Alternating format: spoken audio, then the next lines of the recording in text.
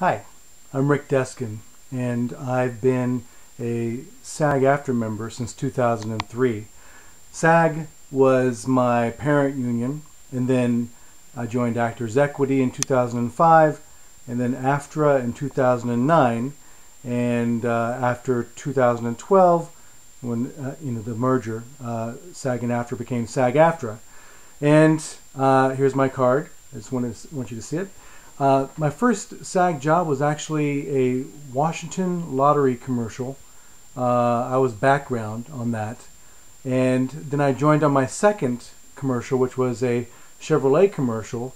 And I was also background on that, but I had worked enough background that I could uh, uh basically join SAG as a member. I was eligible, and it was uh, one of the proudest moments of my life because uh, I'd been an actor since uh, well since 1982, and uh, this was back in 2003 after I'd gone through conservatory and uh, I'd worked. I've been working as a semi-professional actor for some time, and I was basically tired of working for nothing or you know waiting for months to be paid for the various non-union jobs I did.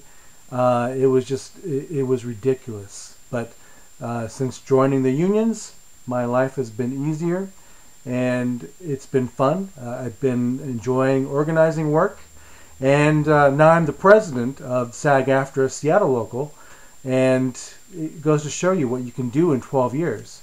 So um, that's a little bit about me. Uh, thanks, and I'm very proud to be a SAG AFTRA member.